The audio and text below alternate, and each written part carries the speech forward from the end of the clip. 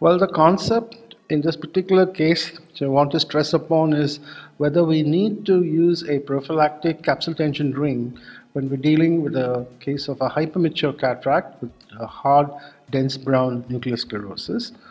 So let's take this case example to point. Patient had hypermature cataract and severe wrinkling of anterior capsule with anterior capsular fibrosis with a rock hard cataract. The initial footage of this video is missing because my OTA assistant switched on the camera a bit late. The anticipated problems is I definitely know that the zonules would be weak and there would be a terrible amount of zonular stress which is uh, because of the stretch and torque forces which I may exert while handling this hard cataract. And this is the rationale behind me using a prophylactic capsule tension ring. The preferred technique in such cases where the bag is filled up with the nucleus to insert the capsule tension ring is by the fishtail technique. In this technique, the CTR is folded on itself, passed through the 2.8 mm incision. Convexity is then nudged and gently pushed under the anterior capsular opening. Now each limb is then fed into the capsular bag so the limb slips, but because of the fact that uh, the edge of the rhexis holds the capsule tension ring, it's quite easy uh, to retrieve the eyelet because the eyelet doesn't spring into the angle. Using a Sinskey hook through the side port, I'm able to engage the eyelet as it is quite visible since it's already flexed by uh, its passage out of the capsular bag and tuck it into place. While inserting the second limb of the capsule tension ring, I have a similar problem. However, I really don't have to worry too much because the flexed position of the capsule tension ring enables me to visualize the eyelet of the capsule tension ring. So I retrieve it and then I gently tuck it into place. After a careful hydrodissection, I begin the phaco chop maneuver and uh, my choice is a sharp 1.75 millimeter chopper.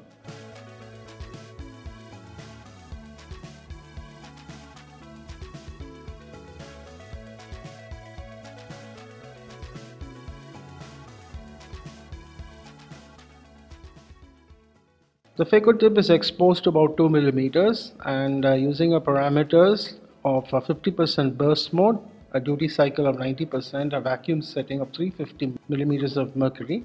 I impale deep within the nucleus, both longitudinally and vertically. So it's important to have a good excursion of the tip through the nucleus. And once I crack open the nucleus, the lateral separation is performed using the chopper which is uh, bent in such a way that the sharp tip faces towards the center and the blunt end faces the posterior capsule. This not only increases the safety while performing the lateral separation, but also increases the effectivity of the separation.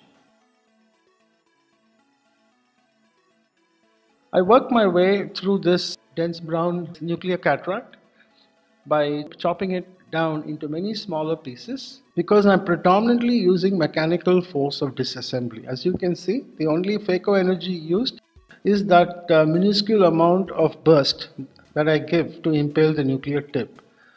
Now the, crack, the cracking of the nucleus into smaller bits is purely mechanical.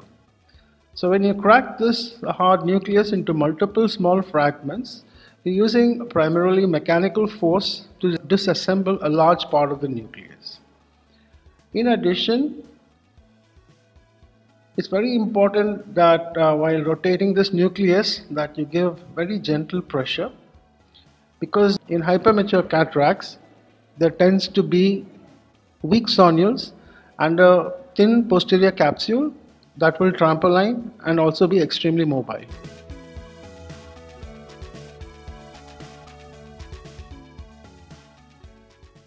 So the first piece of the fragment is now removed from the capsular bag, brought to the safe zone and emulsified.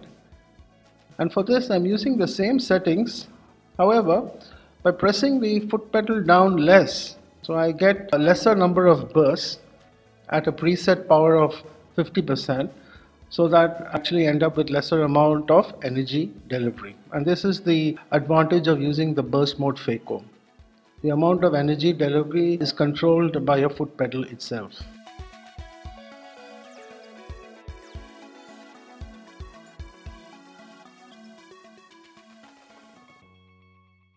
As the surgery proceeds, I now replace the sharp chopper with a Sinskey hook because the sharp chopper is no longer needed and also the sharp chopper may inadvertently rupture the posterior capsule or dig into the iris. The emulsification of the nuclear fragments is then done in a very controlled manner. The Stellaris machine being one with a Venturi pump, I need to set only the vacuum of about 350 millimeters of mercury. The aspiration flow rate will be dictated by the vacuum that I have set. The other advantage that I have with this machine is that I use the dual linear foot pedal by which uh, I have control of the irrigation and vacuum in the pitch and the power delivery in the yaw. So this enables me to have a, a differential control of the vacuum as well as the phaco power delivery.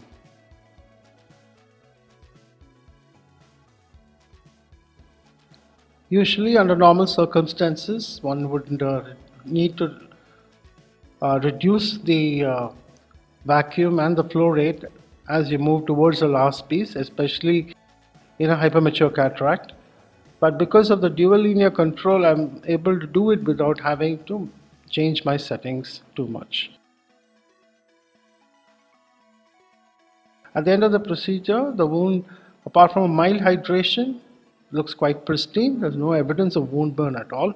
This shows this is because of the way in which I was able to manage the power delivery, both with a combination of the burst mode and with the using mechanical forces to disassemble the nucleus.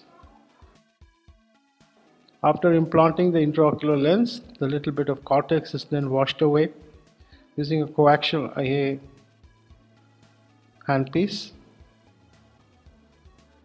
The viscoelastic is cleaned from the anterior chamber.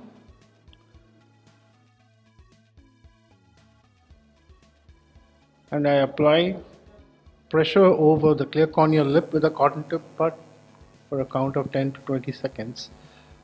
And if the wound is well constructed, this is enough to seal it. Gently insufflating the anterior chamber to the side port and the case comes to a satisfactory conclusion.